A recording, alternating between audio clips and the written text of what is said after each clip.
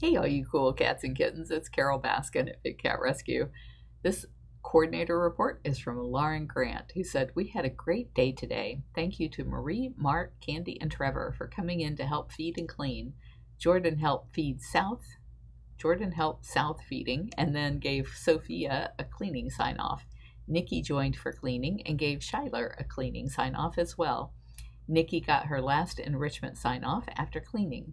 During cleaning, Riley, Emma, and Barbara worked on Chaos, Chaos the Caracals bubbles closest to Jasmine Tiger.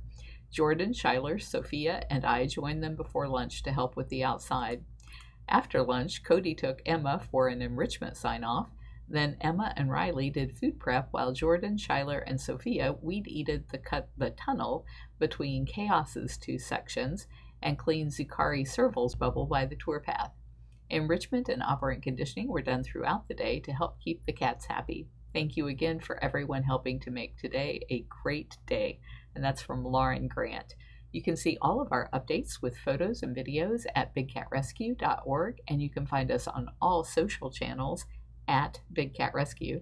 And if you're shopping from home because you're stuck there like just about everybody is, please decide to pick Big Cat Rescue as your charity of choice on smile.amazon.com. And then every time you log into smile.amazon.com, you get all the same products, all the same pricing, all the same shipping. Everything's exactly the same, except that Amazon sends us some money every time you shop. Doesn't come out of your money at all.